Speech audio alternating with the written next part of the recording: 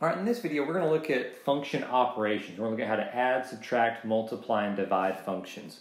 And just so you, you have an understanding of how this video is laid out, what I have is I have two functions. I have this red function, f of x, which is this linear function, and then I have this green function, g of x, which is this square root function.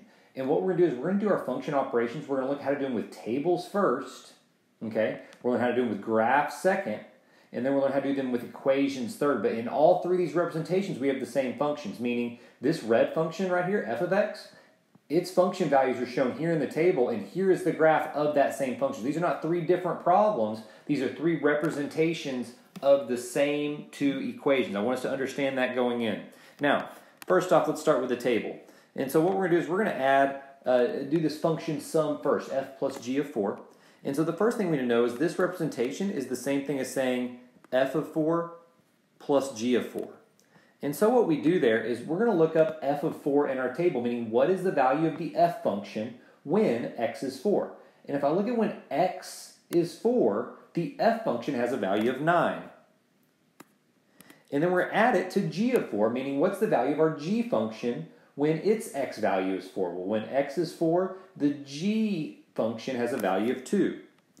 That means that our answer here is 11. The sum, this function sum, is 11. Now, let's do the same thing with f minus g of 4. And uh, so, once again, our first thing we need to understand is this is the same thing as, as saying f of 4 minus g of 4. And we kind of already figured out what those two function values were. We did it in the previous problem. So we already know that f of 4 is 9 and g of 4 is 2. So now the only difference is we are subtracting those to get 7. To do multiplication, now we're doing f of g of 1, which is f of 1 times g of 1. So now we're just going to find these two function values and we're going to multiply them. So to find f of 1, we're going to look in our table for when x is 1, and we're going to say that, oh, the value of the f function when x is 1 is 3. In other words, this is the y value when x is 1. So f of 1 is 3. And then g of 1 is going to be 1. So now we're just multiplying those to get 3. Lastly, we're going to do function division. This is the same thing as saying what is f of 0 and dividing it by g of 0. So to find f of 0, we're going to look at when what is the value of f, of the f function, when x is 0. So when x is 0, the f function has a value of 1. And the g function, when x is 0, has a value of 0. Well, here, if you look, 1 divided by 0 is not 0. 1 divided by 0 is undefined. So this quotient is undefined because anytime you divide by 0, you're going to have an undefined value. So now we looked at all four function operations using a table. Let's look at how to do those same function operations using a graph.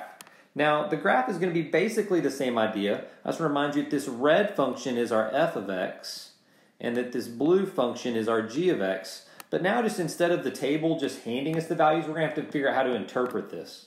So to start with a, we have f plus g of 1, which from the previous slide you saw means f of 1 plus g of 1. And so in order to find f of 1, we're looking for what is the value of the f function when x is 1. So if I'm looking at when x is 1, here's where x is 1 right here. Our f function, when x is 1, has a value of 3 because the ordered pair, 1 comma 3, is on the graph.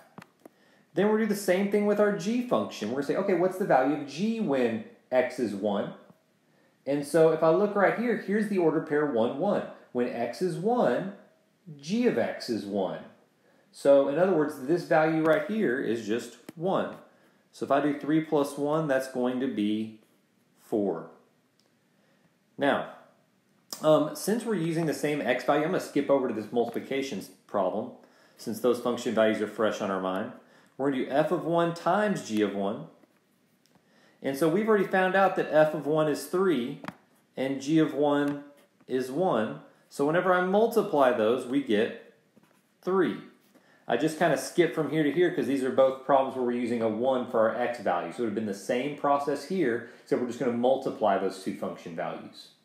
Now, let's look at the negative 2 example. This is going to be f of negative 2 minus g of negative 2. Now, if I find f of negative 2, I'm going to go to my f function, which is this red one, and I'm going to go to negative 2. And you see that right here, it looks like when x is negative 2, f of x, or f of negative 2, would be negative 3. Then we're going to subtract our g of x value. And so if I go over here to negative 2, you see this square root function doesn't really come over here to the negative. It doesn't have a function value when x is negative. Um, it's undefined over here. And so that means that g of negative 2 is undefined. And so if I'm subtracting a real number minus an undefined value, that means our answer is just an undefined value. I can't subtract, I can't do the subtraction right here to get a real number answer.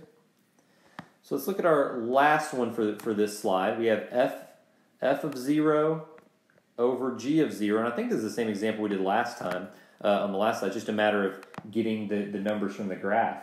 So let me kind of get rid of our other lines. So if I'm looking right here, f of 0 is somewhere along this line, right here along the y-axis, because that's where x is 0. So f, f of 0 is going to be that point right there, which is really just a y-coordinate of 1. g of 0 is right here at the origin. It's the order pair 0, 0. So for the g function, when x is 0, y is 0. So this is once again 1 over 0, we talked about that in the last slide. If you're dividing by 0, that's going to be undefined as well. So here we have a couple of examples of some undefined um, values. So here's our last slide, and now we're going to do these same operations, one of each type, with the actual equations themselves, okay? And so what I'm going to do here is I'm going to rewrite this first one, f of 8 plus g of 8 and so to find f of 8, what I'm going to do is I'm going to substitute an 8 in for x in this function. So that's going to be 2 times 8 plus 1. And then we're going to add that to g of 8. Well, well, g of 8 is this right here. It's the square root of, of x. Oops. So it's going, to, be the square root of 8. So whenever I do this math, we're going to have 16 plus 1 plus the square root of 8. Now, in this situation, it doesn't really simplify nicely. I'd be okay if you left it there. I'd be okay. I'm not going to talk about how to simplify this radical, but if you wanted to simplify it to there, you could. Or if you just wanted to convert that to a uh, to a decimal, I'd be okay with that. So um, let's see. As a decimal, that would be that would be roughly um, 19.83. So, me personally, I'd be okay with any of those values, or any of those representations of the answer, I should say. Now, let's go up here and let's do the same thing with subtraction.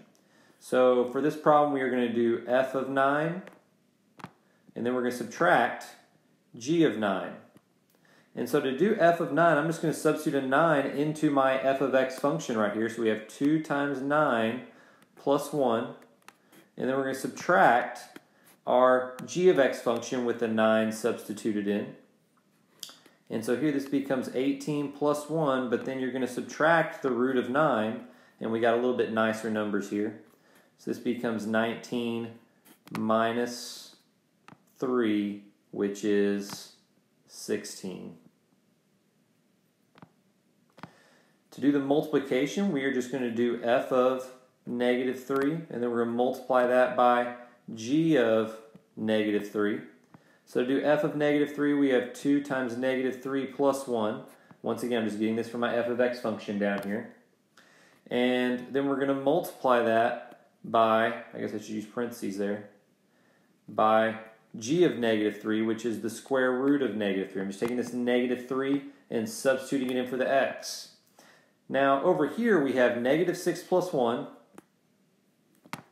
and then we're multiplying that by the root of negative 3. Well, let's just kind of stop right there because this square root of negative 3, that's going to be um, that's going to be like a non-real answer. Our function is undefined at that value. So um, we are just going to say um, non-real answer. I would also accept undefined because our function is not defined. It doesn't have an exact value when x is negative 3. And let's do this last one right here. Let's do f of 4. Actually, I'll keep my color codedness going. I'm doing good on that. f of 4, and then we're going to divide by, oops, no, I'm not doing good. I did f in red the whole time. F of 4, and then we're going to divide that by um, g of 4.